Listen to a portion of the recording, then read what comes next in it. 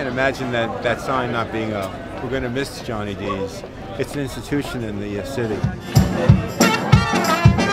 It's, it's going to be a loss of one of the best venues in town. It's, it's such an intimate uh, space to see uh, quality acts. The sound's always good. The food's always good. Good company, of course.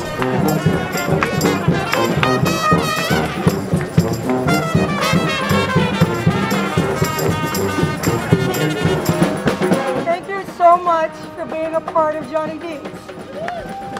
What is abundantly clear to me is that Johnny D's is bigger than me, than my family, and the walls that it is housed in.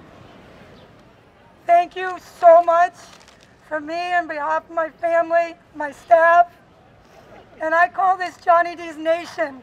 So thank you.